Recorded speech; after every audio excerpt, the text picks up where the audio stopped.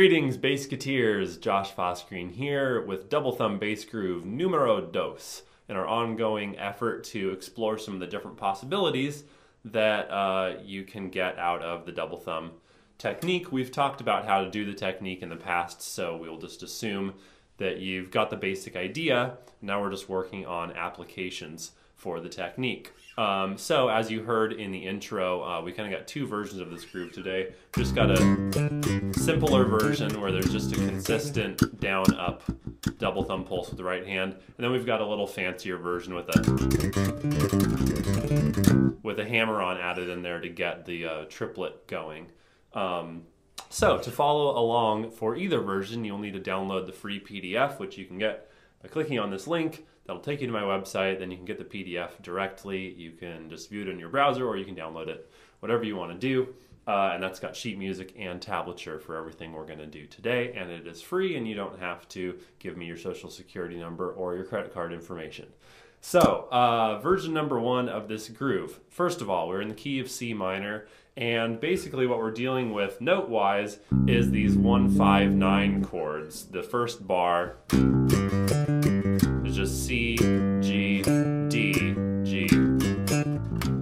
The chord symbol I've used to notate those is uh, C5 add 9 because this is not a C9 chord or a C major 9 chord or a C minor 9 chord because it doesn't have a third or a seventh in it. It's just a root, a fifth, and a ninth, which is just the second up an octave.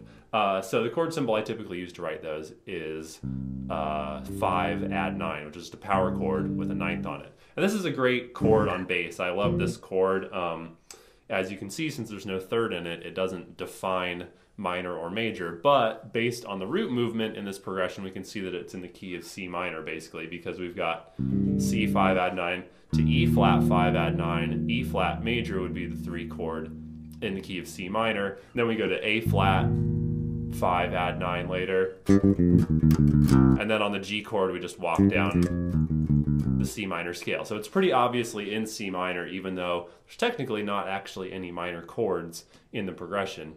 Uh, if there were a guitar or a keyboard or something in the mix, they would probably play some minor thirds, but uh, that's not happening. So that's the analysis. C minor, 159 chords. It's a cool shape to use. So as you can see, it's a pretty big stretch even for my big hands. So what you probably want to do to fret it, just kind of go first finger, second finger, fourth finger, and just kind of let your hand wiggle through the position rather than trying to do this. Of course, you'd have to do that if you really wanted all the notes to be ringing as a chord, but since that doesn't really matter for this line, just let your hand roll through the position like this. And again, I'm going first finger, second finger, fourth finger. Probably something like third finger, first finger, fourth finger, third finger for that run down at the end. And then the right hand, it's just thumb down, thumb up all the way through. Down, up, down, up.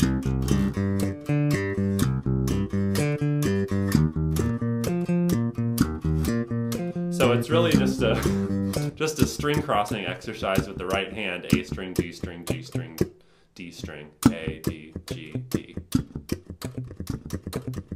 So it uh, helps develop a little bit of accuracy with your right hand if you're only used to thumbing on one string. This is a great thing to do with your normal thumb technique too, just to do string crossing stuff like that just build up your accuracy. You can do the same thing with the double thumb. Just pick a pattern of strings to do and, and uh, come up with a string crossing exercise. So this tune is a lot like a string crossing exercise because we're just wiggling back and forth between those higher three strings.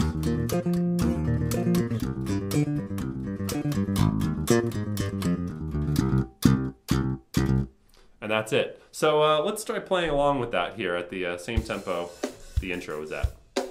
One, two, three,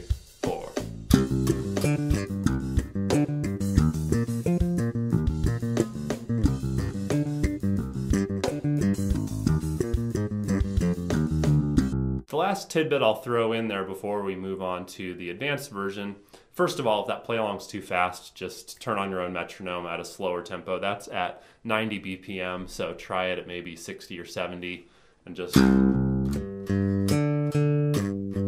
however slow you need to go and then work it up gradually while maintaining good technique and everything. Uh, the last tidbit I'll throw in before we move on to the advanced version is uh, one thing you can do to make this groove uh, a little better, in my opinion, is to is to hit a little uh, extra hard on what I would call the back beats, which are beats two and four. This is typically where you hear a snare drum hit, kick, snare, kick, snare, kick, snare, kick, snare. So you can hear even even more so without the drums going. If I do that, if I don't do that, it sounds very like kind of even and you can't really tell exactly where where you are in the bar necessarily. But if you um, if you put a little emphasis on beats two and four, I'm kind of emphasizing it a little extra here just to demonstrate. But you can hear that it gives a little bit of rhythmic shape to the line and kind of helps the listener uh, perceive kind of a drum groove feeling, you know, even if for some reason you don't have a drummer, like for the reason that you want to do a solo bass thing. Boom, boom, cat, boom, kick, snare, kick, snare. So that's a really good thing to keep in mind in general with the slap technique is trying to keep that drum groove feeling in the bass part itself. Um, obviously, you know, you kind of do different amounts of that depending on if you actually have a drummer or not. Um, but for me, that just helps make it groove and it feels good to me to do it, even if there is a drummer playing a snare drum on those beats. Um, just I just like the feel of it, and it's something I notice a lot of other bass players doing as well. And it's one of those subtleties that maybe you don't pick up if you've only been playing for a short amount of time. Uh, but now that I've said it, you'll probably notice it more and uh, you can play with putting it in your own playing. All right, on to the advanced version. This is the same line, same notes, everything the same basically, except that we're throwing a little hammer on in between our thumb down and our thumb up, which turns it into a triplet pattern. And of course, uh, we're stealing this pattern from Victor Wooten because why not steal what you can? So uh, in Victor Wooten's classical thump, third time around,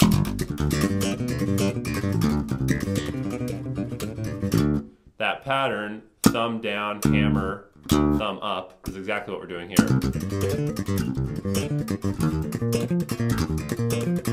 So what happens is I thumb down, this is still just basic double thumb technique, thumb down on a muted A string, then I hammer on the note that I actually want to play, which is the C to start with, and then I come up on it. So I'm doing muted A string with the thumb down, hammer on the C, thumb up on the C,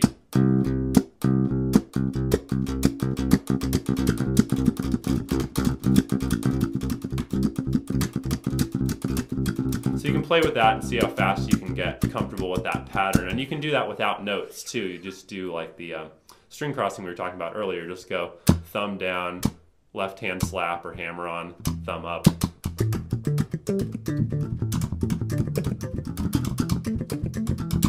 Just kind of get accustomed to that and work up the speed over time.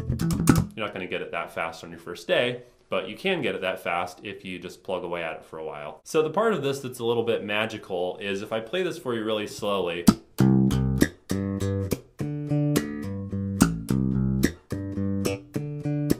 it's very obvious to your ear that beats one, two, three, and four are just muted strings, and the actual notes we're aiming for are coming in on the second and third triplet notes of each beat, which you would think wouldn't really work because normally bass lines should hit on the beat somewhere in the bar, and in this case, we're not hitting any, any notes that we're playing on the beat. But what your ear does, if I play it at a faster tempo,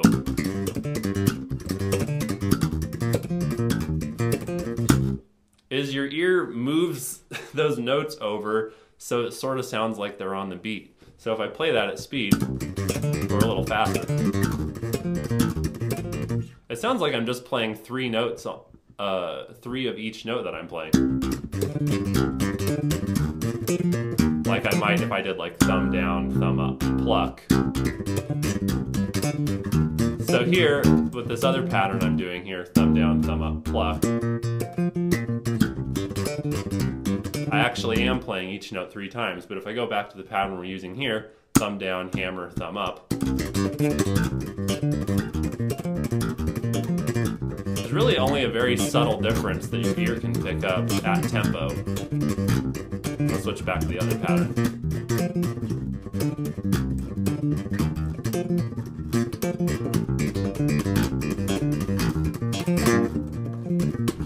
So that's a um, pretty cool little trick. Um, just like other things that you can trick human ears with, like uh, James Jamerson, who played on a lot of great Motown records, was um, noted for you know throwing like open E and A strings into a tune that was in A flat or D flat or something. But because it bounced right into a note that was in the scale, the human ear is very forgiving.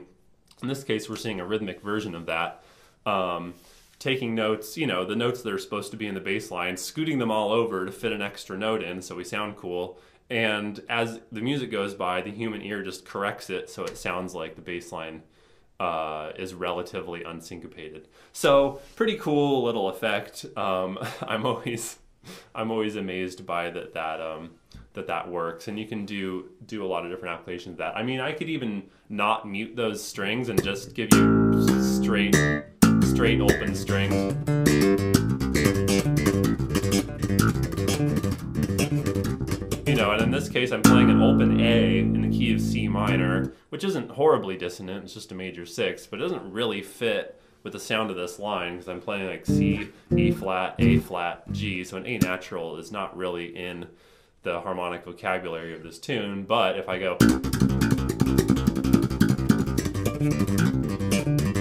you're not really hearing that A. So anyway, enough of that. I'm just endlessly fascinated by it.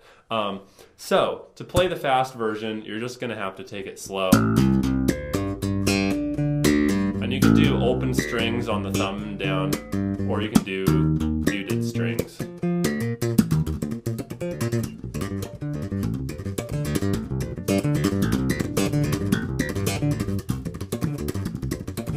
kind of play with different degrees of muted or open on those initial thumb downs to get different um, different amounts of open or closedness in the line. You could give it a little bit of shape over the course of a song or something like that. Let's try a play along on the advanced version. If this is too fast for you, then of course do what I always tell you to do, which is use your own metronome, start at whatever speed you need to. And then you can use the play along. Here we go. One, two, three, four.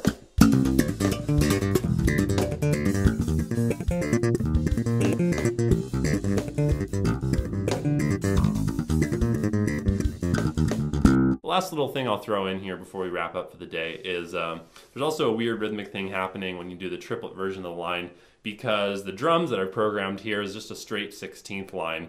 So you're playing triplets over 16th notes in the drum part creates a little bit of a polyrhythmic weirdness, uh, which I just decided to go with because weirdness is good.